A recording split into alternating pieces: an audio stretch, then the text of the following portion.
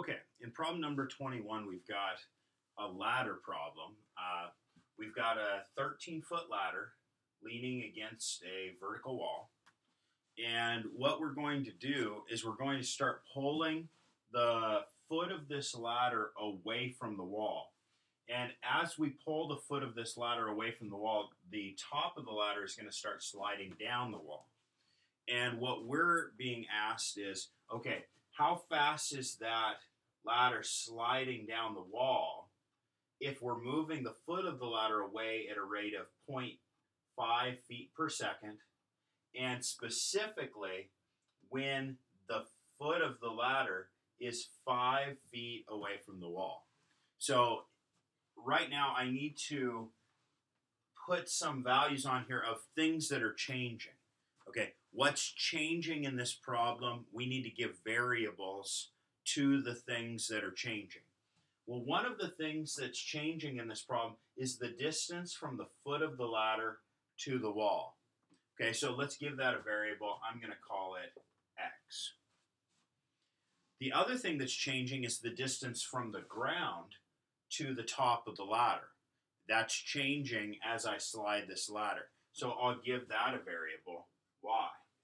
A mistake in this case would be to assign another variable to the length of the ladder. The length of the ladder is never changing.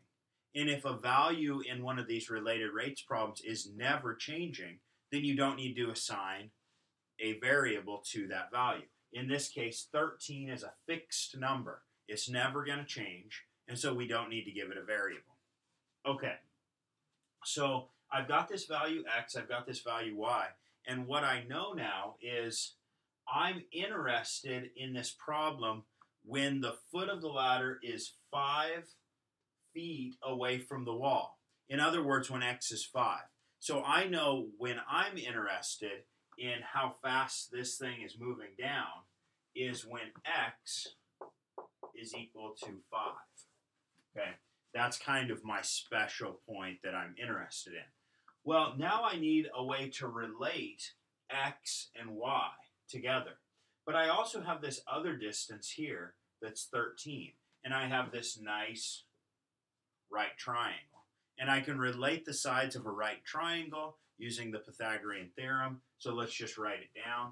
I have that this side squared plus this side squared is the hypotenuse squared. In other words, I could write down that x squared plus y squared is equal to, some people would write z squared and that would be a mistake because the, this side never changes. It's always fixed and it's always fixed as 13. So it's 13 squared. Okay, now we're getting somewhere. We've got a nice formula that relates all the pieces of my equation, all the pieces in my picture that are changing, x and y. I've got an equation that x and y are both involved in. Now I can take the derivative of this equation with respect to the variable time, or with respect to t. Okay, so the derivative of x squared is 2x times the derivative of x with respect to time, or dx dt. The derivative of y squared, similarly, is 2y dy dt. And the derivative of 13 squared, well, 13 squared is just a constant, and we know that the derivative of a constant is just 0. So this is 0. All right. So now I need to ask a question. Whenever I get to this point, I should always ask this. What is it that I'm trying to find? What is it that I want to know in this problem? I want to know how fast is the top of the ladder sliding down the wall. In other words, at what rate is y changing? So y is changing. How fast is it changing? That's what I want to know. Well, how fast is y changing with respect to time? That's dy over dt. dy over dt is sitting right here. That's what I'm trying to figure out. And in order to figure out dy dt, I need to know x, dx dt, and y. I know x. x is 5. dx dt, I know how fast uh, x uh, is changing in distance. It's 0.5 feet per second. So dx dt is 0.5. Let me write that down. dx over dt is 0.5. And y, well, y I don't know off the top of my head, but I can figure it out because this is a right triangle. So we use the properties of the right triangle. If I know what x is and I know what the hypotenuse is, I can figure out what the y is. So I know that x squared plus y squared has to be 13 squared. x is 5, so uh, 5 squared plus y squared has to be 13 squared. That's uh, 5 squared is 25 plus y squared is equal to 169.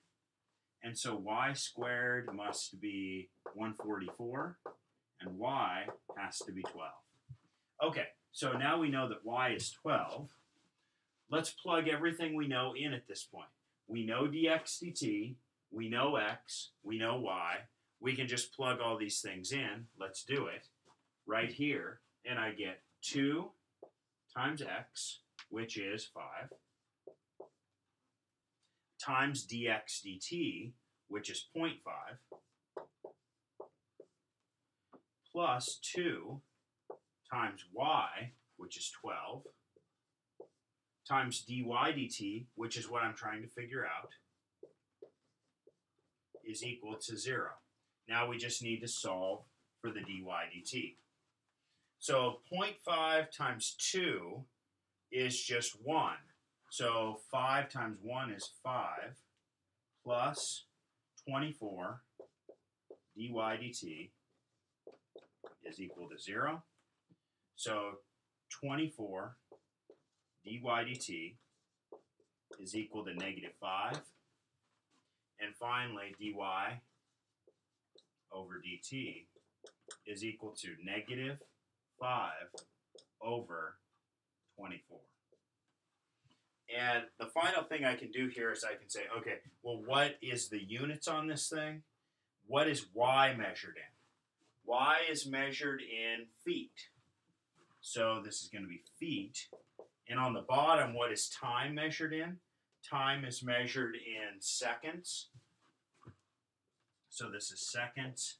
And so the answer to this problem is dy dt is negative 5 over 24 feet per second.